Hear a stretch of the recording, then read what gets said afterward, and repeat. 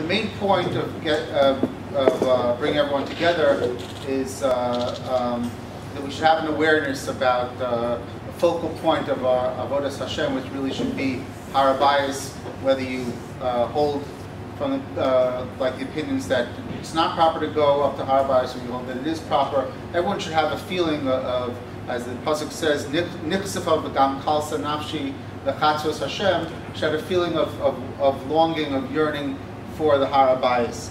Um, so we heard a few months ago uh, from Harav Silvetsky from Merkaz Harav, who gave a very interesting shiur uh, on the topic, um, and uh, also had a, a, presentation and, and showed why he thought that uh, halachically and why his rabbeim felt halachically was not proper uh, to go up to Harabayas, and we wanted to people that from the shul who who do uh, uh, go to Harabayas wanted to hear another view on the subject.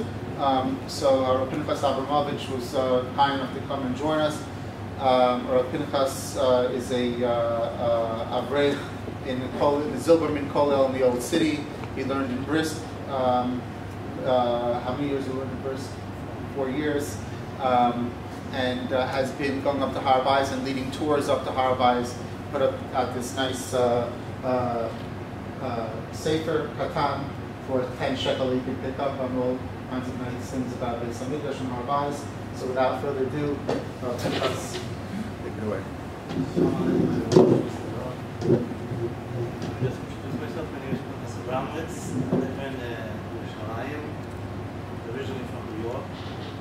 I spent the last uh, uh, time studying, learning different sugyas regarding this Hamikdash, and in particular, the location of the Mokum Hamikdash on Har Bayit itself. We'll talk about how uh, the Mokum Hamikdash, there's many, many things to talk about, but uh, tonight we'll try to focus on the location of the Mokum Hamikdash on Har Bayit. It's a sugi that sometimes causes uh, confusion, different shitas, kashas, the people often get a little mixed up. And we'll try to learn the study together tonight, and hopefully we'll get to some clarity. Course, it's impossible to go through every last uh, shita and thing that was said about but we'll try to do the basics, and hopefully we'll reach some clarity. The Pasuk says, the place where Hashem chooses to rest His name there. The shichnoi tidrishu uvasa shama you should seek the Shekhinah and come there. Chazal tells us that one of the things of seeking the Shekhinah, how we kind the Tidrishu, the looking, searching for the Shekhinah, is actually the search of where is the Mokom where is the location of the Mokom on the Harabayas. Hazal tell us there's a Sefri on this pasuk, Yochel Tamtin Ad Navi, you shouldn't build the Beis HaMikdash until the Navi tells you where is the Mokom to build the Beis HaMikdash. Talmudoima l'shichnoi tidershu uvasa shama. Droish, you shall seek umetzoi and find, and then the Novi will tell you. The Malbim says on the Sefri, explains it, that Gilo Bekansh, that Kodesh Baruch Hu will not be Megala Soidoi of where the Mokum HaMikdash is, until we from ourselves try to find a place, we dirish it on our own, and when we search for the Mokum HaShechina, then Hashem will send a Ruach Milamalo to help us in finding the Mokum Ashkin and the Mokum HaMikdash. So what we're doing tonight in trying to find the precise location of the Beis HaMikdash is actually a mitzvah of the Shichrei Tidushu Vas. So let's be mechanic this mitzvah. We start with the, talking about the different, the various sections on Harabayas, each with its own level of Kedusha. Sometimes we look at Harabayas as one big thing, one Kedusha, Harabayas, and it has halachas of Shiluach Tmeim, we'll get to soon. But actually the Mishnah Maseches Kela mentions eight different levels, eight, eight different areas, each with its own level of Kedusha within the Harabayas itself. In other words, there's divisions of Kedusha within the Harabayas itself. And let's first talk about some of those levels, and then we'll try to place where those areas are exactly on bias today. So of course the basic chalukah, the basic division is of the three machnos.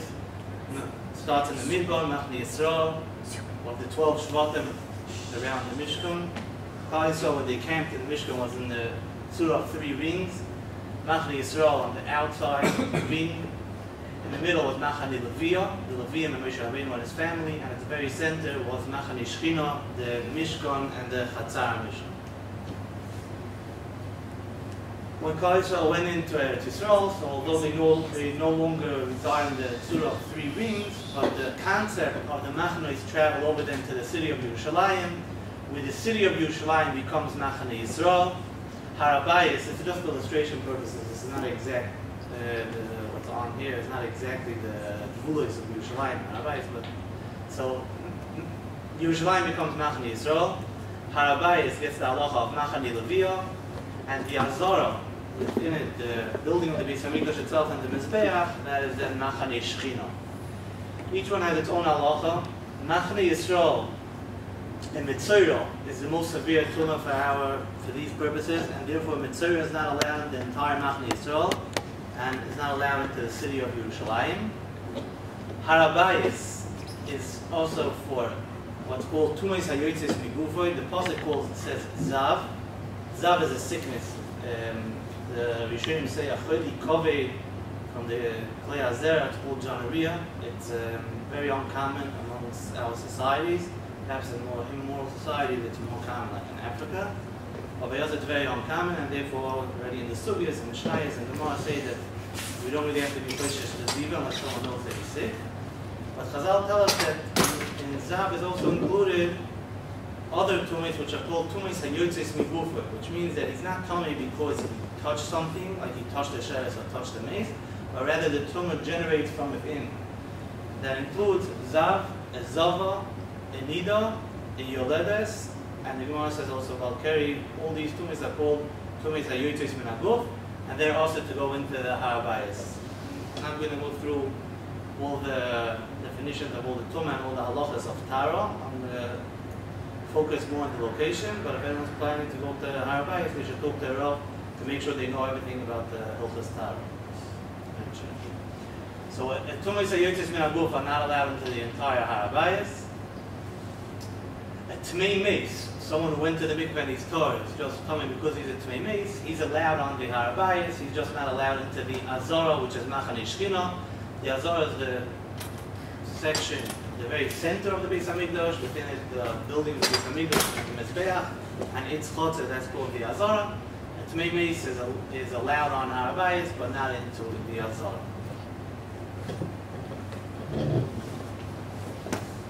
Just the different areas on the Harabayas itself, the Mishnah tells us that Harabayas was Chamesh Meis Amal, Chamesh Meis Amal, 500 square of 500 amas by 500 amas. The Harabayas that we see today is a lot larger than that, almost double and we'll talk about it more soon why is it so much bigger. It's basically because around 100 years before, towards the end of Bayasheni, Herod the Great, Ozus HaMelech extended, when he renovated the Beis HaMikdash, also extended the mountain by making arches and landfill. Either way, then therefore Harabayas today is much bigger than 500 amas. But the original Harabayas, the, the Kedusha is a 500 amas square, within it is the Azara. That's the main, that's with the, in the Azara, the building of the Beis itself and the Mizbeach. To its east is the Ezras Noshin, 135 amas by 135 amas. And surrounding these two Azaras, the Azara and the Ezras Noshin, is what's called the Chel. The Chel is sort of a buffer zone of 10 amas that people shouldn't come very close to the wall of the Azara itself, and therefore there was like a strip of 10 amas around these two Azaras, surrounded by a little wall called the Surig, like a gate around it, and that's basically um, the, the different levels in the different areas in the Harabayas itself. There are further divisions which the Mishnah makes, but it's not relevant for our purposes, and so we're not going to get into it. So again, we have the Harabayas, within the Azara as it's Noshim, surrounded by the Chayil. This is the way it is in the Nile in the Israel Museum. Here you see the Azara, the Beis Hamikdash at the center, where you can't really see the Mizbeach. This is the Ezras with the steps going down from from the Azara to the Ezras. And they're surrounded by a Chayil and a small wall called the Suri.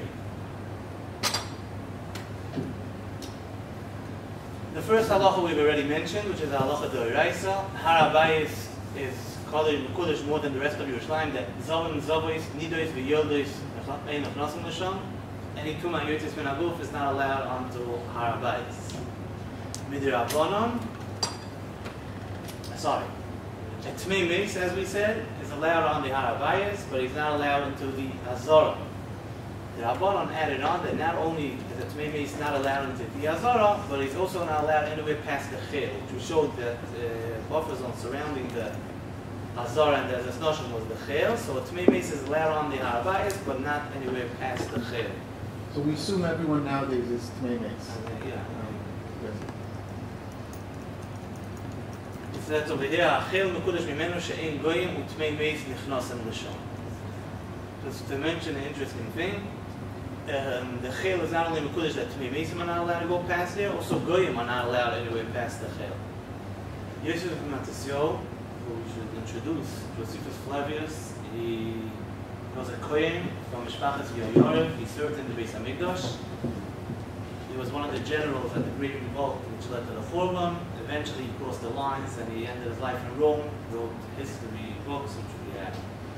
In those books, he describes in very great detail the Beis Hamikdash, Yerushalayim, and a lot of the information we know about the Beis Hamikdash comes from what he writes, from his books. He says that in the Chayil, which was surrounding, I'm sorry, in the survey that was surrounding the Chayil, at various points there were stones with a Greek inscription in them, warning Goyim not to go past this this gate because if yes, they would be killed because they're, because they're not allowed past that point. Around 150 years ago, near the Harabais, they found a stone with a Greek inscription, which says just that. That uh, no Gentile, this is of course a translation, no Gentile man behind this wall, uh, stones of death. And this stone itself is now in Istanbul because it was found in the Ottoman period and that's why it was taken to Turkey. But there's a fragment of a similar stone, just a stone like this, but we found just a fragment, like the middle part, and it's now in the Israel. That's uh, Garabana. Right. Garabana was the halacha, right?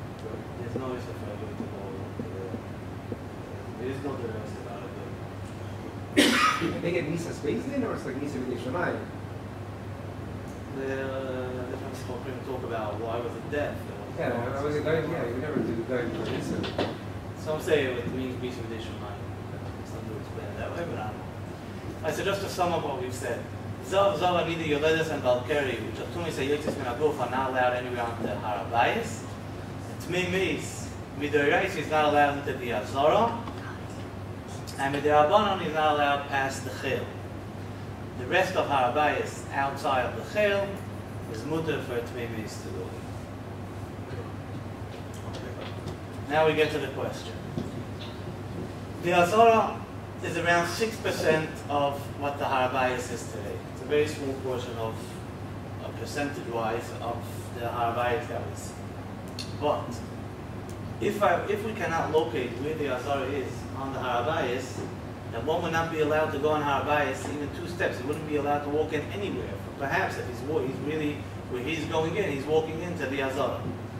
So if someone has no idea where the Azara is, he can't go anywhere on Harabayas because maybe he's walking into the Azara. In order for it to be mutter go into Harabayas, we would have to pinpoint and locate where the Azara is located within the Harabayas.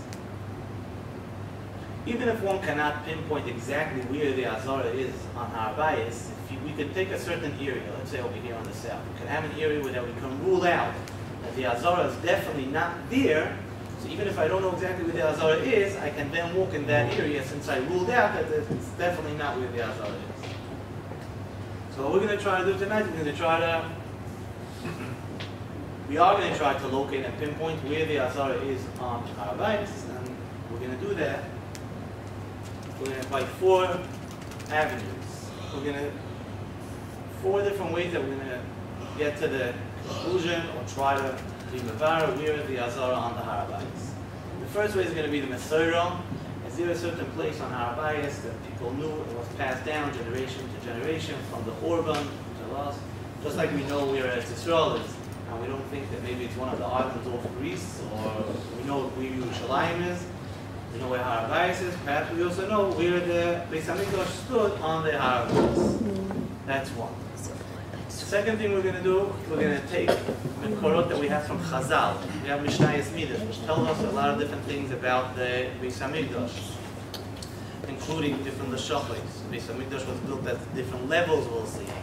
We're going to take the information we have from Maseches Midas and try to compare it to the mountain as we know it today and see where does it fit on the mountain, where does it not fit. Try to figure it out from here.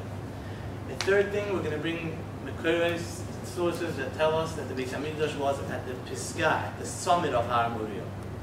So again, we're going to try to locate where's the summit of Har Moriah, and that again should indicate to us where's the Mokum HaMikdash on Har. And finally, we'll get to Mimtzeim Hashetach, which is sort of landmarks that we can say on Har Bayis, okay, I see this wall or this board or something that I could connect to the buildings, to the Azores of the Beis Hamikdash. And then that again will indicate to me where the Mokum HaMikdash is based on the things that we find, that we know from Chazal where they are in relevance to the Mikdash. Do you give any credence to archaeologists? Yeah. That's it. When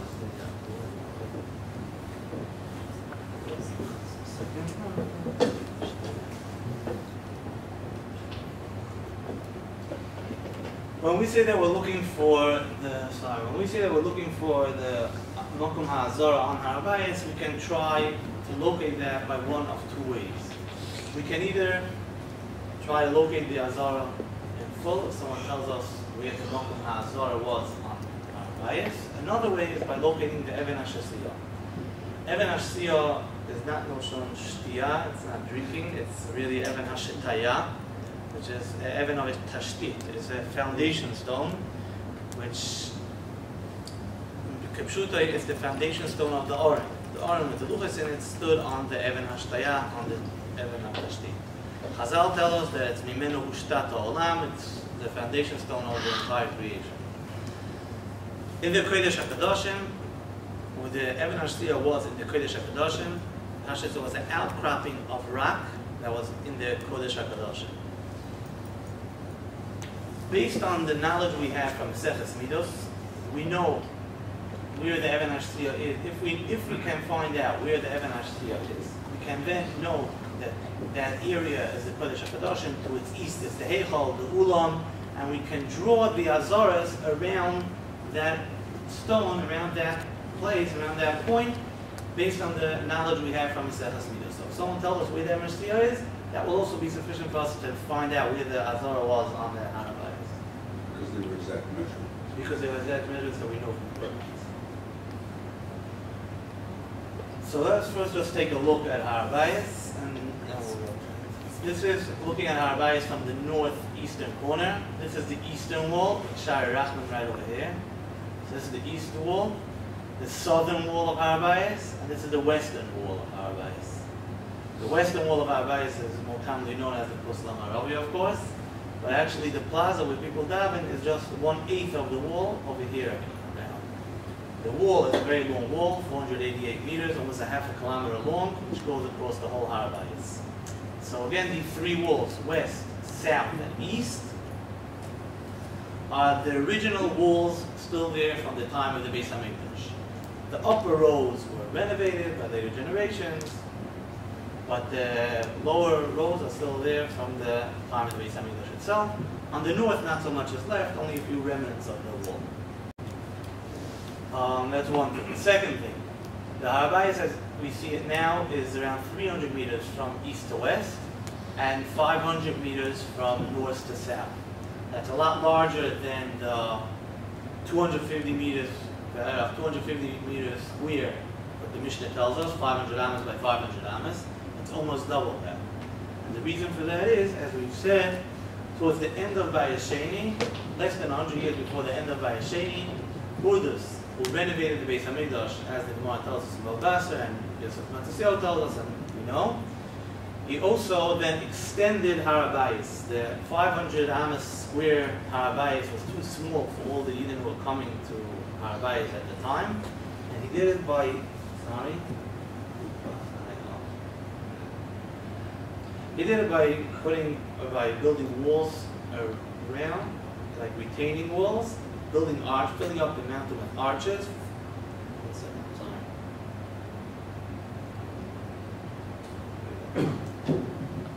You can see this is the mountain Har Moriah itself.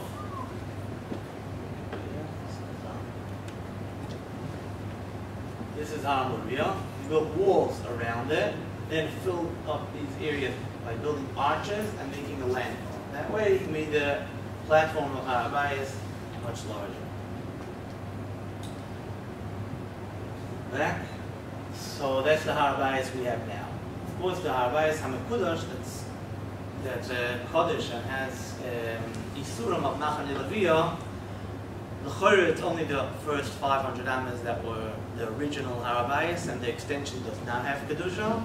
Today, as far as I know, everyone who goes to Har Habayis is machmir on the whole entire platform as having the Kedusha of Har Habayis, and everyone goes to the mikveh, even if he's only going to go to a place where it's assumed that it's only a later extension. What we see on Har Habayis today, Litzarenu, is two Muslim built Islamic buildings. One is Al-Aqsa on the south, that's the most important part for the Muslims. And this is um, the mosque they come every Friday, and that's over here on the south, the Al-Aqsa Mosque. Besides for that, there's another building known as the Kipat HaSela, the Dome of the Rock, which is not a mosque, it's a shrine. It's, in Arabic, it's a makam, makom. It's just guarding over an important place. Sometimes they make it over a kever or over something like that. It's a makam.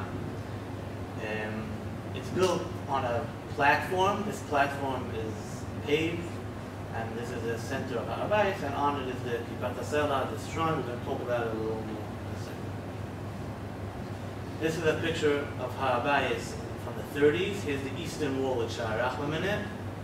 This is the north. We're looking from the north towards the south. You can see at the south the Mosque. At the center is the platform with the Dome of the Rock on it. And all the rest of Har Habayis is Hamish beer. Today there's uh, olive trees and stuff, but this is just around.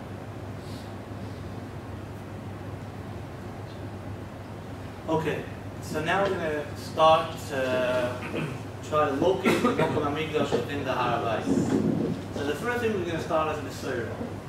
The Mesorah is what we said that a certain area, a the place was given over from generation to generation. Everyone knew this was the Mokum HaMikdash on Har Habayis. Just to bring out the point. Sorry.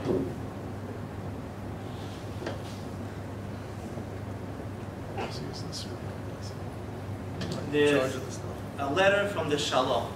Shlo was lived around five, 400 years ago. He was originally from Prague came to Eretz Yisrael. He lived in Yerushalayim and eventually moved to Tzvei, and that's where he came from. A Rav who knew the Shlo from Prague still wrote him a letter and he said, I heard that you moved to Yerushalayim and I can't believe it. Don't you know that it's also to live in Yerushalayim? He said, what? Also to live in Yerushalayim? He says, yeah. And Yerushalayim was the Mokum HaMikdash.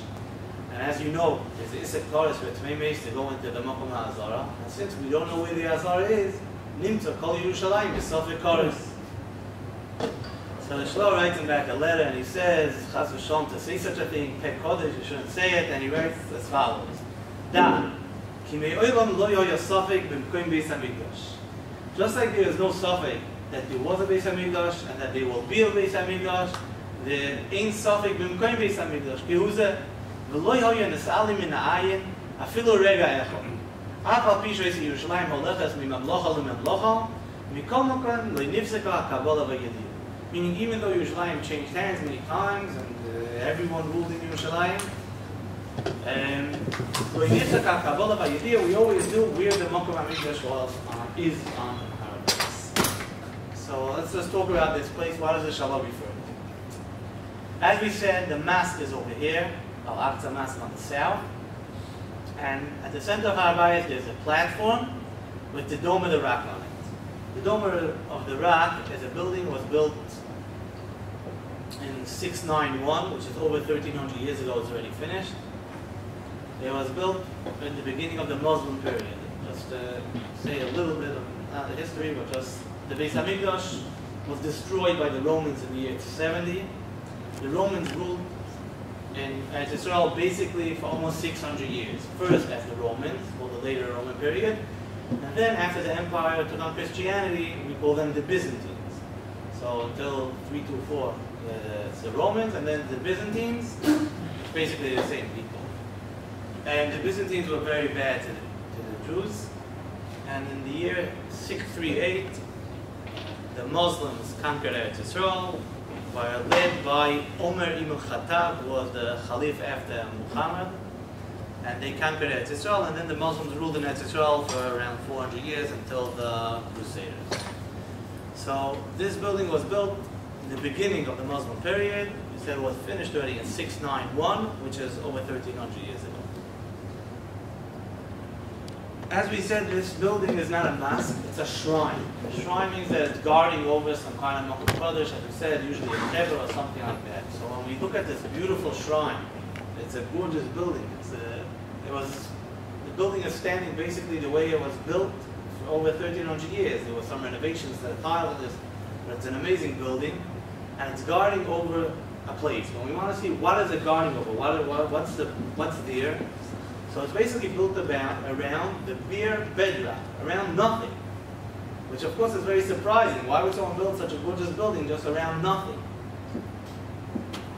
So when we look at sources, we see that this building was actually built around the Mokom HaMikdash. As we said, when Umar, Umar ibn Khattab conquered uh, Eretz Yisrael from the Byzantines, the Byzantines were very bad to the Jews. And therefore, when the Muslims came to conquer Eretz Yisrael, there were many Jews which joined Umar ibn Khattab's army. And they helped him conquer Eretz Yisrael. When he came to Yerushalayim, as a gesture to them, he built, um, he said that the Mokom HaMikdash, which up until then was just in ruins, and it was a churva, he's going to build a nice building over there, the Mokom HaMikdash. This story is mentioned many sources. I'm just going to bring exa- samples. This is a Jewish chronicle from the Cairo Geniza, around 1100 years ago. It's written in Judeo-Arabic. This is a translation. Omer was asking the, the heathen about the Selah, about the Siyah, and one of the Chachamim showed him where the Mokom HaMikdash was, and then he said to build on it the nice kippah, the Dome of the Rock. This is mentioned again in a letter from the Rabbanim of Yerushalayim in the time of the Gaonim. They talk about the history of the, of the Yeshuva Yehudi at the time of the Gaonim in Yerushalayim, and they talk about Me'isa Lekenu Isazois, that the, know, Chesed, the Fnei Malchus Yishmael, when they conquered Eretz Yisrael from Edom, which of course is the Byzantines, there were people from Bnei Yisrael with them, they showed them the Mokum HaMikdash, and they built this building. Again, Reb Sachim Regensburg is from the Balei HaTosfos, also mentions this story about the Zokin Echol, which knew the Mokum HaEchol Ba'azora, and uh, the Melech HaYo'oyev, Yehudim, V'oman, Yirit Zalim Nisechel Shom, and there was This is not only a Jewish legend, something that only the Jews know about, but actually historians of the time also know. Al-Tabari is the greatest Muslim historian of the early Muslim period, and he writes his story at great length. He knows the names of the people who were there, Abu Ishaq and Kab, and the Shor Omer. He brings his story with the whole Arichos. Also, Sebeos was an Armenian bishop at the time in Yerushalayim. Also knows about this story about how the Eden came and they wanted to build a place on Migdosh Shloim.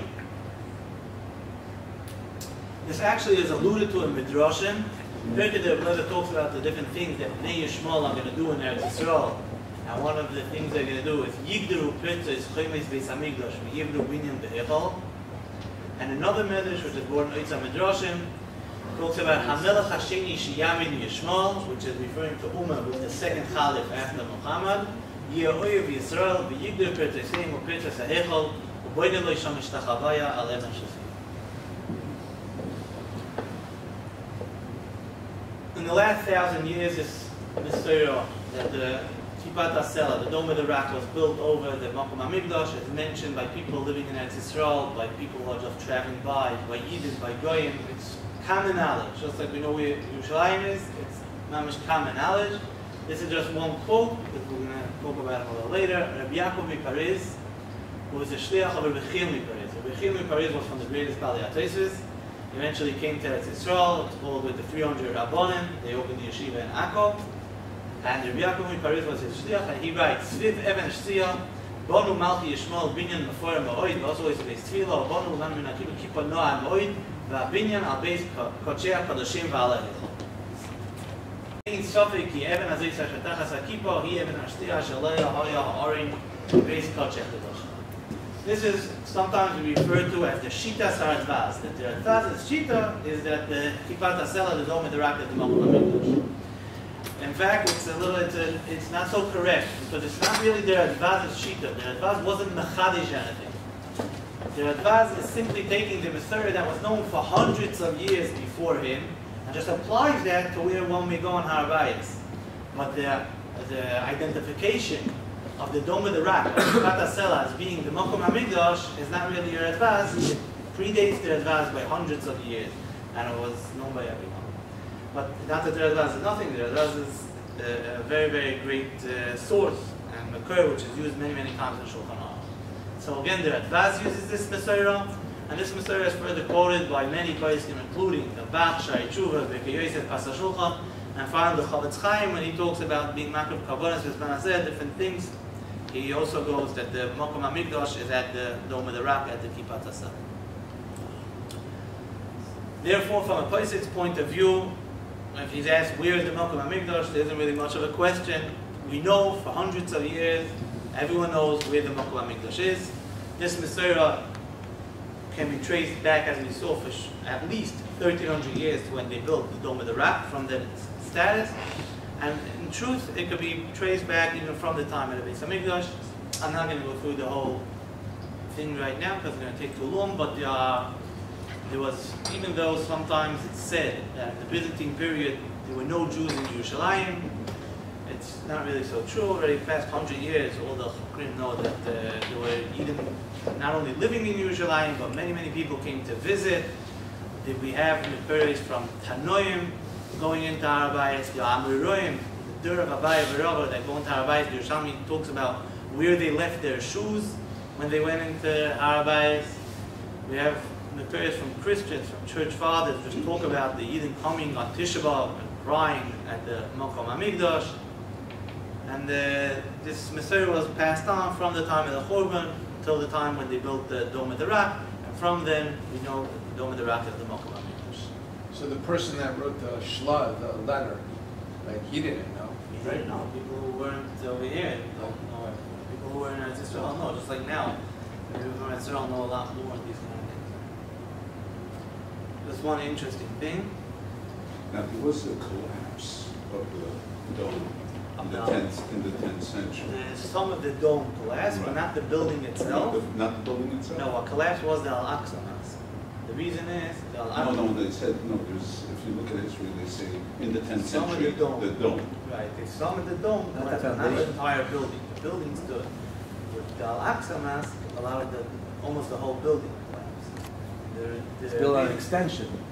Whereas Dome of the Rock is on the bedrock. Because the Al-Aqsa Mosque is standing on a landfill of arches, and therefore it's, it's much Doesn't more have real vulnerable foundation. to earthquake. Whereas the Dome of the Rock is standing on the bedrock, and it's a lot stronger.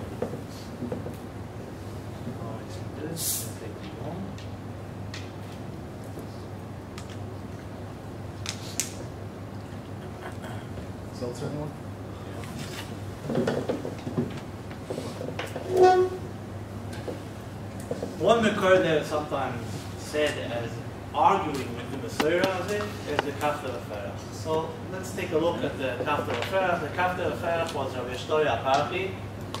It was the time of the Rosh. He came to Israel from France, from southern France. And he spent seven years going around Israel, seeing all the different. Uh, he spoke to the people from all the Arabs. And he writes a lot of Masorahs. He eventually put out a sefer called Kafta Afer, which is basically a sefer on Hilchas Hampuris Ba'aretz.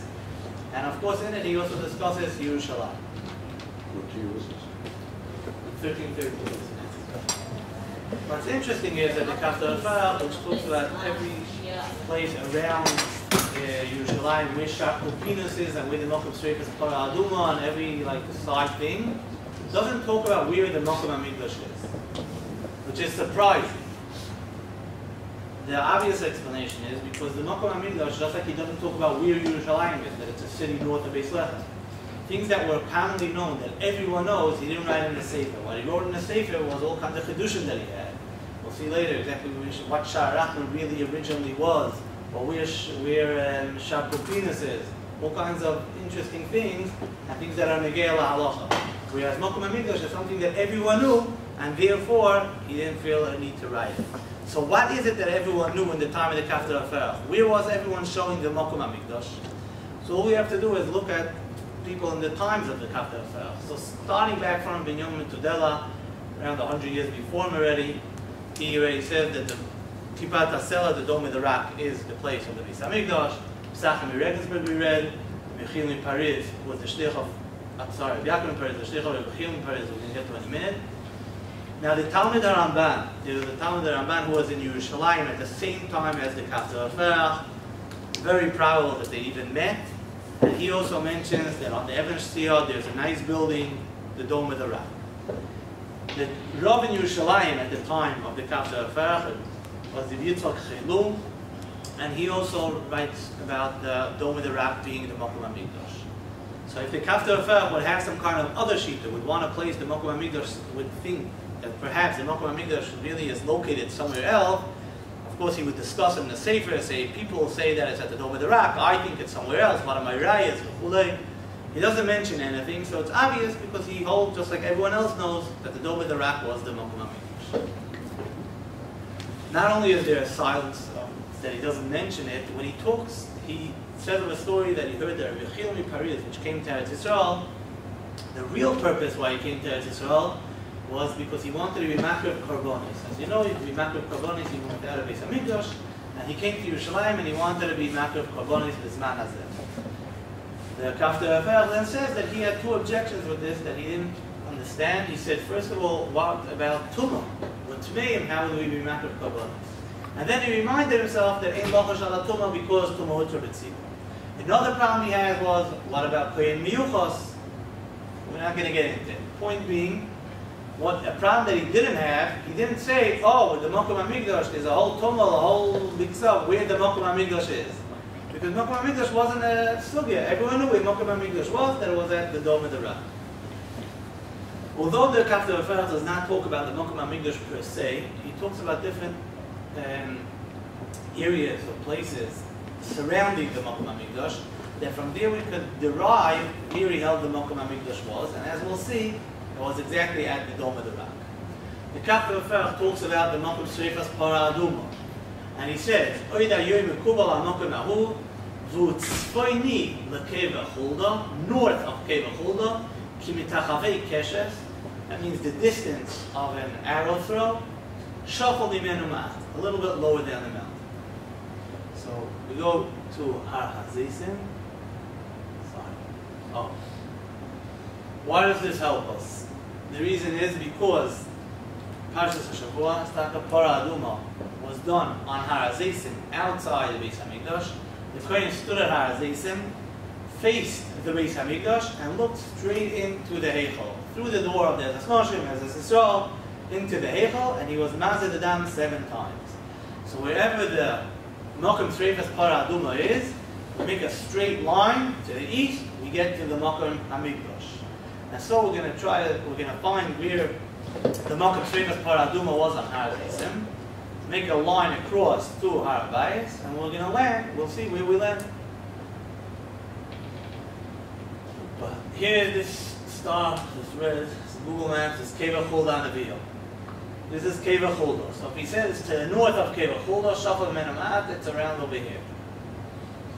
The Mokum Shivas Para Aduma is to the north of Cave Chulda, around over here. If we make the line, we get straight to the Dome of the Rock. If we were to place the Mokum Amigdash, as someone said, the Kafta Afer holds that's over here, somewhere on the south of Harabayas, then the Mokum Shivas Para Aduma would be not to the north of Cave Chulda, but rather to the south of Cave Chulda. And the fact that he says that the Mokum Shivas Para Aduma is to the north of Cave Chulda, we again see that the Kaftor accepted the well-known Masorah that the Mokam HaMikdash was at the Dome of the Rock. As we mentioned, the Talmud Ramban, who was in Eretz Yisrael at the same time as the Kaftor he actually mentioned both of these Masorahs. He talks about the Eben Shtiyah that the Malchi Yishmael built a nice keep on it. And he also mentions the Mokum Srevas Paraduma about the Har Zeitzim, Mokum Asher Hayashirtim Shal Paraduma by Itztava, Hi Mechuvenes Neged Pesach HaEchol. Which as we said, Pesach HaEchol is where? By the Dome of the Rock, as he himself said that that's where the Echol was. And the Mokum Srevas Paraduma is directly across.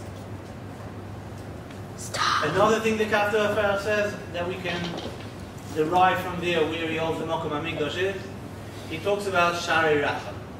Shari Racham is on the east of Harabais. He talks about Shnei Sha'arim Gvoyim V'oid V'chikibos V'chutz V'dal Sisei and Basil V'im Skun V'oidlam V'kern Lam Amamoin Shari Racham. And he says that he thinks the reason why they're called Shari Racham is because these are the two Shi'arim that Shlomo HaMelech built. The Pirkei Dev says that Shlomo HaMelech built two Shi'arim to Harabais. One where Chassanim would go in, and someone who went through that shah, everyone would know he was a Chassan, and the people sitting there would give him a bracha. The other shah was for Avelim, and people who saw someone coming through that shah would give Menachem them.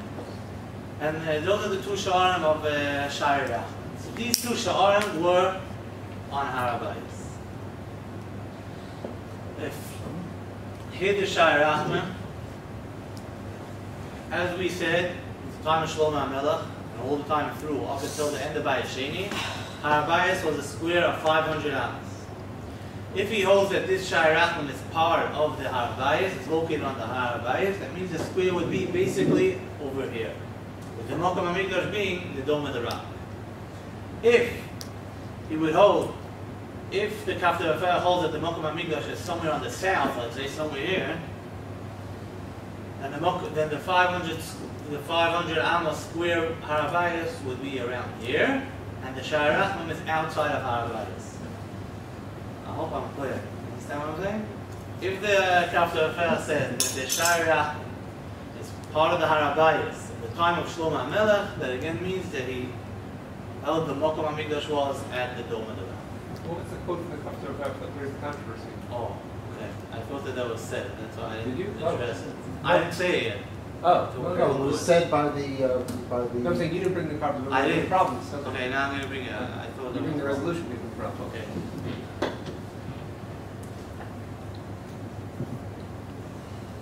The Affair, the controversy starts from this quote in the Affair.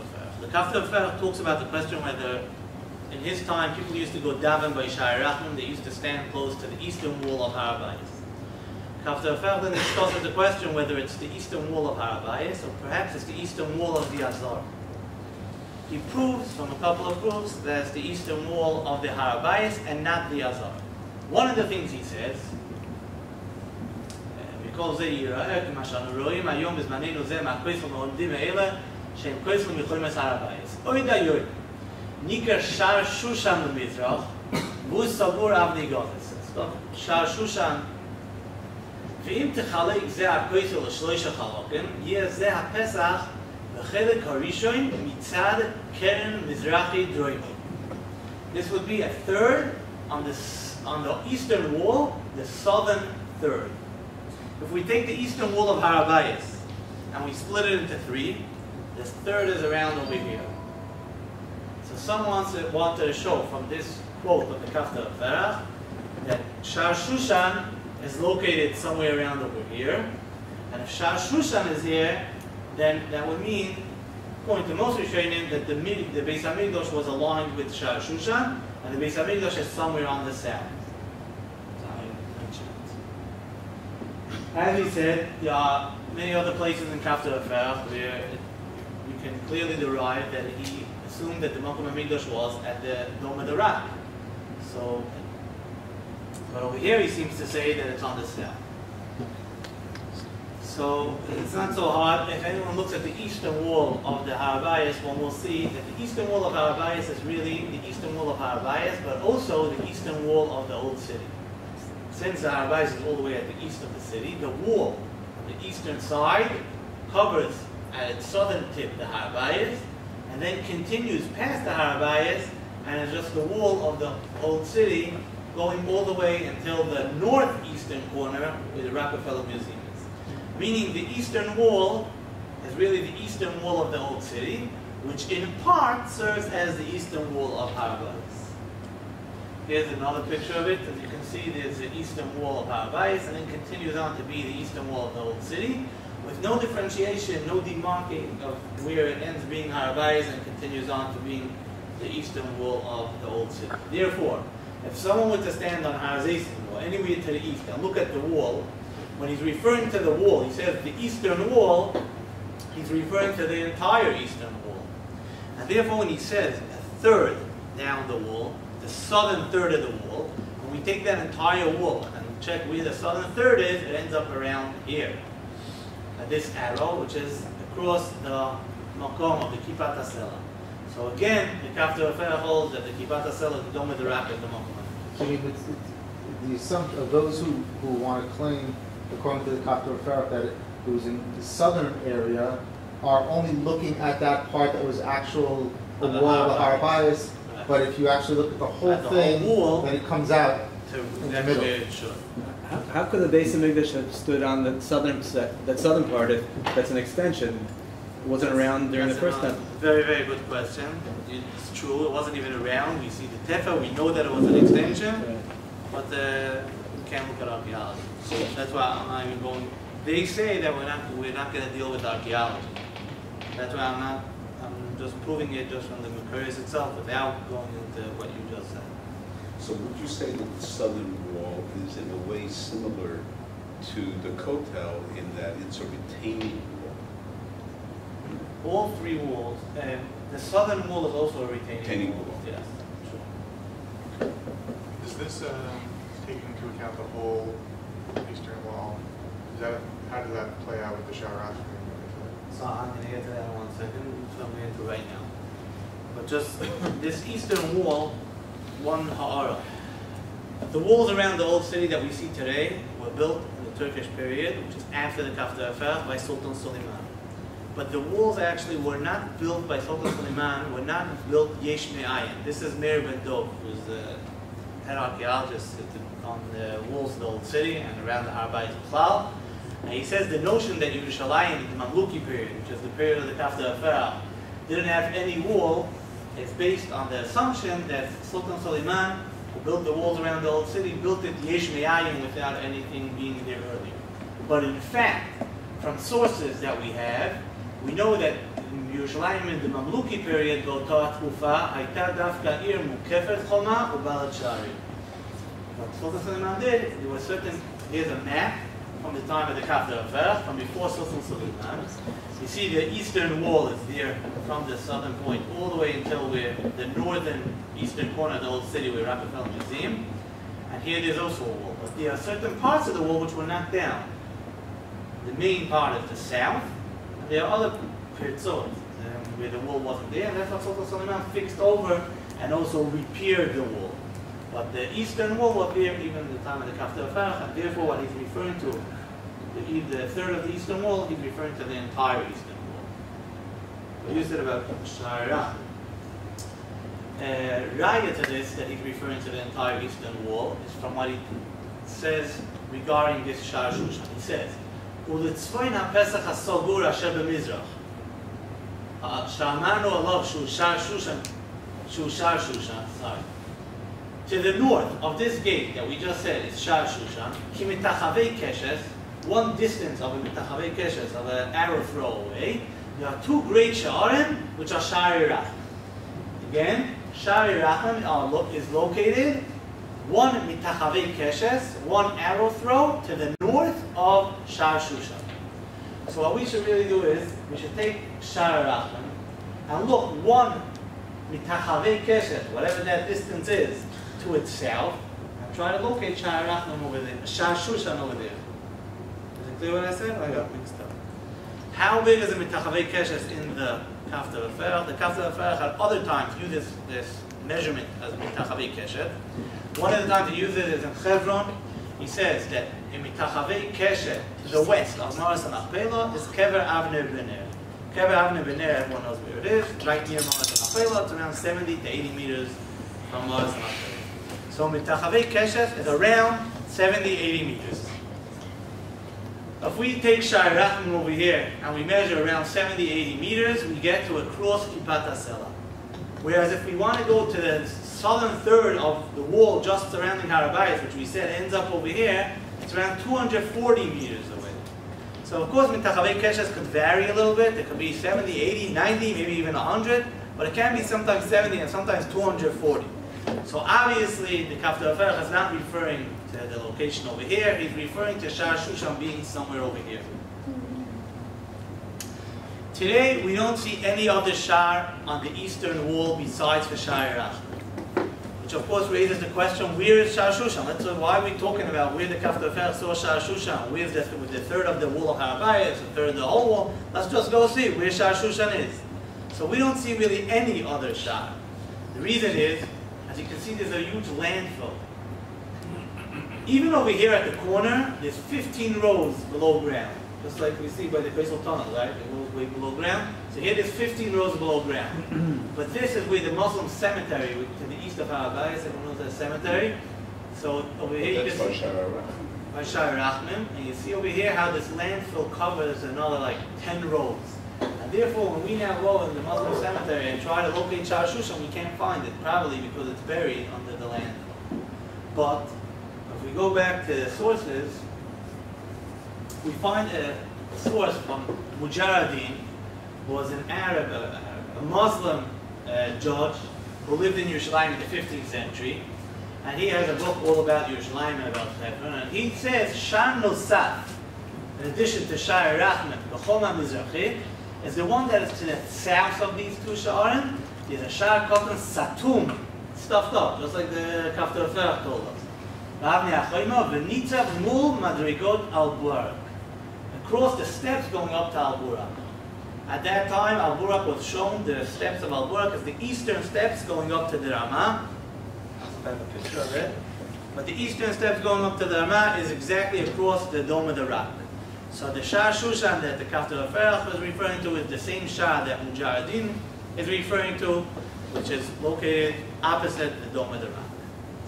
So just to sum up what we said about the Kaftar Aferach, I spent a lot of time on it. because, that was- Okay? At the time of the Kafta Aferach, what was common knowledge was just like what we said, the Masura, the, the Dome of the Rock, that is the Mokum of the, of the Mokum HaMikdash. Aferach doesn't have any objections, doesn't talk without his Bechudish, the Geshita, otherwise. From a few things that Kafta Aferach says surrounding the Harabayas, we can indicate that, in fact, the Kafta Aferach assumed, just like everyone else, that the Mokum HaMikdash was at the Dome of the Rock. Shashushan is exactly at the southern third of the Koisel Mizrahi, which is the full Koisel Mizrahi of the city, and that's exactly across the Kipat Sela.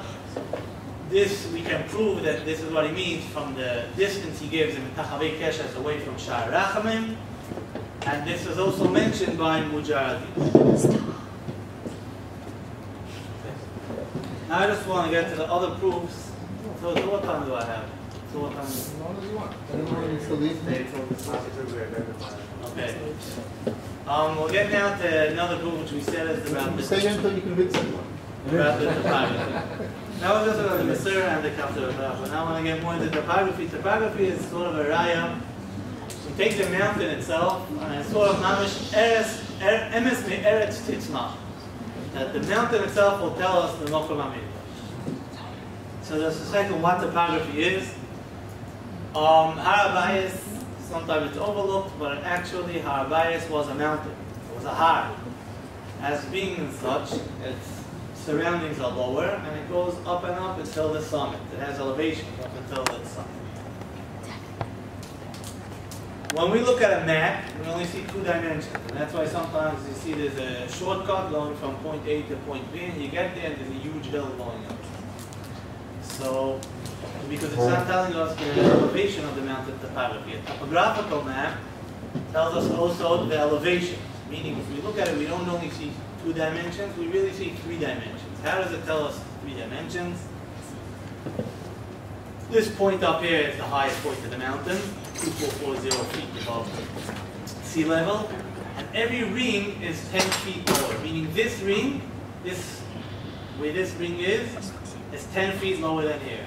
If I go to here, I just went down the mountain another 10 feet. Meaning, when I have lines closer together, the hill is much steeper, the elevation is much steeper, because just going from here to here, I just went down 70 feet. Same thing over here. If I go from this point on the mountain to here, I just went down 70 feet. So over there, the mountain is very steep. Whereas with the lines are further from each other, so over there it's a lot more subtle. When is this map from? Okay. This map was made by Charles Wilson and Charles Warren, who were two archaeologists which came to Israel from England on the PEF, the PEF Palestine Exploration Fund. They came to Israel in the 1860s. Um, and they really laid the foundation of archaeology of Eretz Israel as a whole. They measured from the sea level from Yafo, they, a ton of things from them. But if all this is covered, how do they know what the elevation is underneath? Okay, getting to that just one second. Okay. One of the main purposes they came was to was to explore Yerushalayim, and not only for archaeology purposes to find out. Yerushalayim suffered from a shortage of water. There was always a problem in Yerushalayim, there wasn't enough fresh water, which brought diseases and people were dying. And uh, they came, their purpose was in Yerushalayim to find, could they find more Makuris Mayim, could they find more water on, in Yerushalayim for the people. On Har Habayis, there's about 40 cisterns, some of them very large, like this one. This is a cistern, a Bor Mayim, which holds a lot of water. And there are 40 Borot Mayim cisterns within the Har Habayis. Not all of them are as big as this, the biggest one. But Wilson writes that if the if the cisterns and the water system of Har Habayis would work properly, there would be more than enough water for the whole Yerushalayim. So they explored Har Habayis, they went into all these Borot and and they mapped them out. Now, one of the things they were they mapped out when they were in these uh, cisterns was where exactly is the rock level. So you. When you go into the to the bore, you can see where it's earth and where you hit the rock, and they marked off where they hit rock. They then found also on our bias there were like channels of water going from one to the one bird to the other. And over there again, they saw where was earth and where the rock levels are. And finally, when they were here, as we saw the picture in the 30s, a lot of Habayis was bare, and it wasn't so built up. And therefore, they still were able to find outcroppings of rock, and that's how they made the topographical map. Now, when we want to test Warren, we want to see, is he accurate what he, the map he makes? You know, was made by a lot of different points, with Borot Mayim and Jamos, but does he know what he's talking about or not? So we give Warren a test, and the test is in the southern excavations. As you notice, along the southern wall of Har Habayis, now there's a lot of excavations, and we found the Shari Ulda and the Gvois and all kinds of stuff. It's also city. Right. But we more by the Davidson Center, further up. Warren dug over there in what he calls shafts. He dug like um, pits galleries, like tunnels, and he documented everything he saw over there and wrote what he thinks is over there. After the Six Day War, Professor Benjamin Mazar excavated the whole area professionally, uncovered it, took away everything, and we found that Warren, achad la'achad, he knew exactly what was going on. Everything Warren said, Ritmeyer, who was worked with Mazar, writes that every day they used to go back and check Warren's maps and this, and they were amazed by how accurate he was. So they really knew what he was doing, and he gave us this map of Har Habayis. And in fact, further now, sometimes there isn't, there's no real archaeological excavations on Har Habayis, but sometimes to fix pipes and things like that, we can uncover and we find exactly what Warren said is exactly right. And so this is a topographical map of Har Habayis. Why is this so important? The reason why this is so important is because the, as we said, Har Habayis is a mountain, and therefore, the Beis Hamikdash, when we're going to build it onto a mountain, we can't just build it on one flat area. So what we do is, just like they build in Yerushalayim and a lot of other places where it's mountains, they build it at different levels. That means on one level is, how, is the level of the Chel, let's say. Then there are steps going up, and there's another street. It's Ezras Nashim. Steps going up to Ezras Yisrael. And so the levels of the Beis Hamikdash, different Azaras were built on into the mountain at different levels. Miseches Midas tells us how big each Azara was, and then how much we went down, and how big the next Azara was, and how many steps there were to go down. We know every step was a half a amma, and therefore we can figure out the layout of the different Azaras of the Beis Hamikdash. We then take that with that topographical map, and we compare it. And what we find is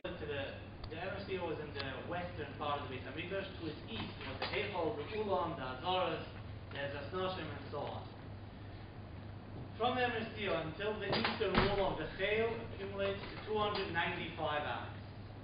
So, that means that since we know that the Beit HaMikdash was somewhere within the Harabayas, the Vidasaurus, it means we cannot go anywhere past this wall.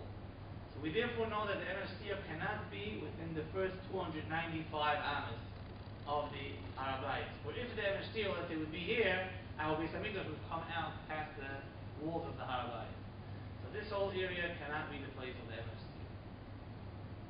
The second area we know the Evan Steel can't be is the western slope of Harabait. Chazal tells us when someone came to the Beis Hamikdash from the east, he went up a couple of steps to the level of the Ezras Noshim, and then went up steps to the Israel, and he keeps on going up until he gets to the level of the Hichol. Nowhere does he go down steps. Meaning, if the level of the Hichol, the Steel, would be on the western slope of Harabayas, then we would expect that he comes from the east, he goes up, up, and then passes over the summit and goes down a couple of steps until he gets to the level of the Heichal. Since he always goes up and never goes down, we know that the Shia, the level of the Heichal, is showing how he goes up, okay, the level. This is the of the Rambam drawing it. We therefore know that the Shia cannot be in the western slope of Harabah. Because in that part, he, he is going down. Because if you, if we'll be in the western slope, you would have to go past the peak of the mountain and then go down. Since we find in the Mishnah that it's constantly going up and never going down, we know that it can't be on the west. So could, could they have raised, uh, the platform in construction? So we assume that the Evan Arshtia was an outcropping of rock, like Chazal tells us, as we men of Ushtas Oilam, Chazal keep on saying that the creation was from there, and Bedrock. it's bedrock itself. A, a third thing, there's a, a Nahal called the Beitzeta Valley, that is actually now on the northern side, now it's included in the Harabayas, these are the walls of the Harabayas today. But before Herod extended Harabayas to the north, there was a valley going over here with a moat. And the moat was actually found by Warren. It's mentioned by Yosef Matasyahu, this moat. Pompey, the Roman general, was on this mountain to the north, fighting with Israel, with the, the Eden who were in Harabayas to the south, at the northern tip of Harabayas. We therefore know that the original Harabayas, before Herod's extension, did not go past this valley. Right? Because anywhere past this valley, it's not Har Moriah anymore. This is the end of Har Moriah. By that itself, we can prove that the Evan Ashasiyah was not anywhere up until here. The most northern point the Evan Ashasiyah could be is around. So just from this process of elimination alone, we know that Evan must have been located within this triangle. We're going to now try to pinpoint the location of the Beis Hamikdash even further. Again, we said that Chazal tell us how big each one of the Azaras were and how much was elevated more than the one before. In other words, there were 15 steps from the Israel to the Nashim and so on. So, taking the information from Chazal, we basically get a cut like this, try to place it on the mountain. It fits perfectly in one spot. That is the place of the Dome of the Rock, where the height of the Dome of the Rock down to the Azara, and again from the Azara down to the Ezras Nashim, everything fits perfectly just as Chazal tell us. Here it's on the topographical map. and You can see why it fits. It's not too steep but it's a chimney. It's also it's not flat. A hill down, but uh, gradual. If we try to place the Makom Amigdash anywhere in the south, we will find that it is way too steep for the for it to fit with what we know from the Mishnayos. Again, if we place it on the north, it totally does not fit with what we know from Chazal. And therefore, um, just taking what, not just, but taking what we know from Chazal about the different levels of the Azores of the Beis Hamikdash and comparing it to the mountain we know now, we again come to the same conclusion that the Masorah also told us that the Beis Hamikdash is at the Dome of the, location of the Makom Hamikdash was at the Dome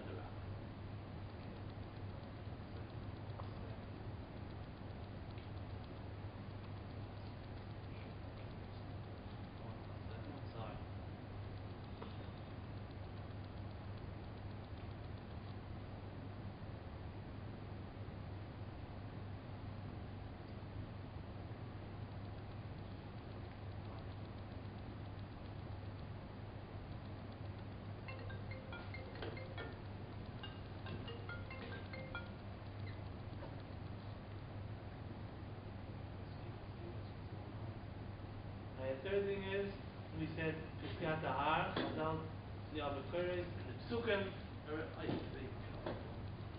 the Psukim tell us that the Beis Hamikdash was al Rosh Har, at the summit of Har Moriah. The Yerushalmi talks about the Beis Hamikdash being at the summit of the mountain. The Yerushalmi even discusses how could they build the Beis Hamikdash at the peak of the mountain. We know that the peaks of the mountain were used by the Canaanim for Avodah Zarah, and the Yerushalmi deals with the question. Either way, we see the Yerushalmi knew that the Beis Hamikdash was at the peak of Har Moriah.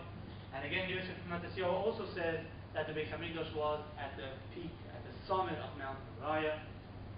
Of course, the Makom, the peak of Har Moriah is exactly where the Dome of the Rock is, at the Tzachra, where the Messiah and the topography told us, the, told us that the Makom Hamikdash would be. The fourth thing is the Chazal tell us that the eastern wall of the Azara, Ezras Yisrael, the fighting between Ezras Yisrael and Ezras Noshim, was built to the due east. In other words, it was to the exact, um, what it called, cardinal directions, meaning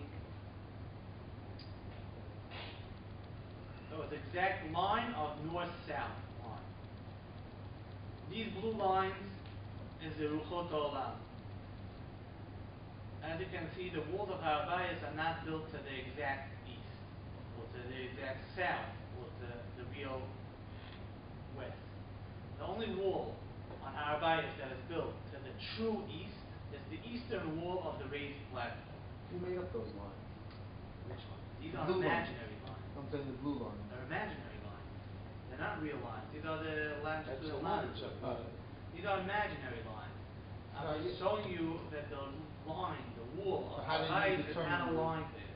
How do you determine Due whether- east, it's the Due due. it's astronomical. Oh, The only line that is exactly um, aligned, sorry, the only wall that is aligned to due east is the eastern wall of the raised platform. Again, when we start with the Beit Makom HaMikdash being here, and we measure out where the wall between the Azara and Ezras Nashim would be, it ends up exactly over here. This wall is built on an older wall, probably the wall divided the Ezras Yisrael and Ezras Nashim, meaning it's the eastern wall of the Ezras Yisrael, which is built just like Chazal tell us, to due east. The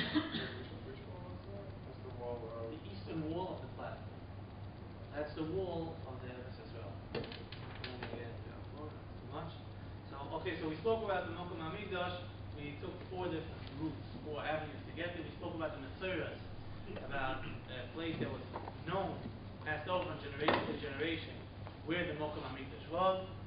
We compared what we know from Chazal to the topography of the mountain and saw that it fits only at the Dome of the Rock and no other place on the mountain. The, the sources that tell us that it was the summit of Har Moriah, again point to the Dome of the Rock.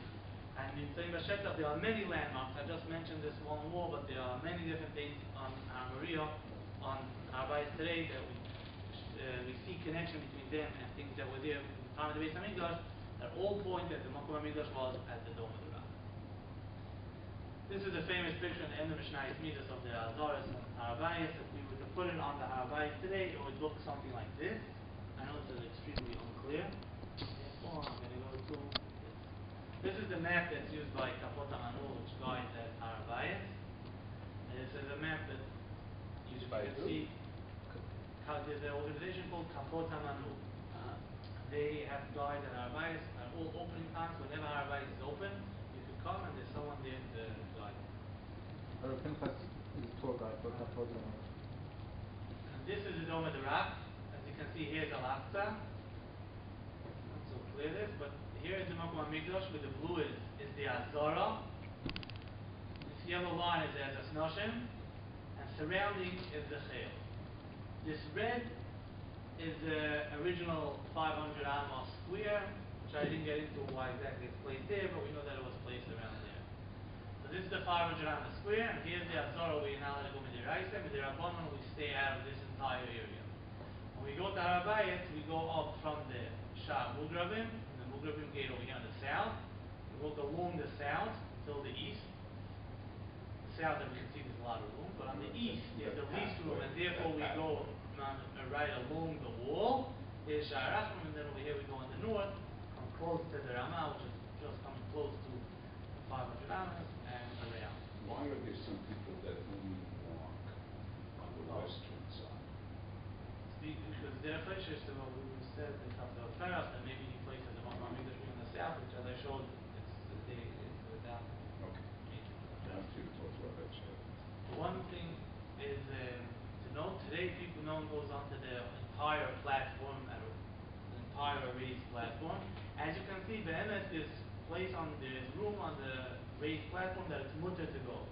The reason why people don't go is because already years ago they decided that since there's no markation on the platform, someone who would go there would have to know exactly where to go. If not, he could just walk by mistake right into the Mokum Azara. And not everyone who goes to Abayis knows exactly where to go. So if you stay off the platform and you know that at the east you go along the wall, then you're safe. Would you go on there? If, would I if I would be able to on the north? Yeah. Because there's also a chassan from not going there, but okay, well, let's talk about that. Would, would, would you go or a woman go to the western part, outside of the red, without going to mikvah? No, I would not, because. You know, you're pretty certain that that's not First of when they added on, when Herod extended the Arabias, we don't, they, they probably couldn't be Mekadosh anymore. Couldn't, uh, really make any Kedusha there. But it's assumed that people saw it as the Harabai is getting larger. In other words, they didn't see, okay, so there's the original square and then there's the addition. They treated the entire Harabai with the Kedusha of Harabai. And since that it was in the time of the Beis I think we should also, and people will know that some people go there without tefillah, they don't know where to go. It's not. But weren't there places in the original Harabayas before, before Herod that you could go to without going to mikvah? No. Every inch of, On Harabayas, one has to go to the mikveh, Midoy Raisa, there's a chiyuv to go to the mikveh before one goes on to. so, so that a a teenage girl, for example, unless she goes to mikvah, could not go at all. That's. So that was, and that was true in the days of Hamikdash, that the young single women would not go? Oh, Again, huh? Science? So a, a- a young single woman who's never been married, who never goes to the mikvah, would never be allowed to go go to, to uh, Harabayas. Beis In those days, they didn't have that. In those days, they for sure went to the mikveh. They ate truma, they ate taros, girls went to the mikveh. That started later. But even, uh, now- I'm gonna finish and I'll get back to that. Okay. So, uh, This is again, Upa, this is the path that people take. You can see at the north, we come close just to the five mountains and then walk around. Okay. Just one word, we've been davening for thousands, for hundreds of years, over almost two thousand years, davening to Hashem, shetalenu v'simcha la'atzenu, v'skeinu b'kulenu, HaKadosh Baruch bring us back to Eretz Yisrael and bring us back to the Beis Hamikdash. And for years, people came in little drops. Finally, HaKadosh Baruch Hu was at Shetechlas, HaKadosh Baruch Hu was Chofetz Banu, and brought us back with the Kibbutz Galuyos, with Nisim ben which no one ever had imagined. We came back to Eretz Yisrael, and 50 years ago we were able to see the Nisim of the Six Day War, that we got the entire old city of Yerushalayim and Har Habayis without even wanting it. Like Baruch Hu just put it into our hands. And like we always said, "Shetalinu b'sim kol ha'atzeinu, te'enu b'tmolenu, v'shom naseh l'fanecha, kol b'nesaviseinu," we will come back to we also have a part of this deal that when HaKadosh Baruch Hu brings us to Eretz Yisrael, we then will go up and be Mishtach and try to be Makos Kobonis, and therefore we will try to do whatever we can to try to get to the Beis HaMikdash, and Be'ez uh, Hashem, with Hashem's help, we will be there at the Zol Beis HaMikdash and be Makos Kobonis, and be Yom Yom Yom.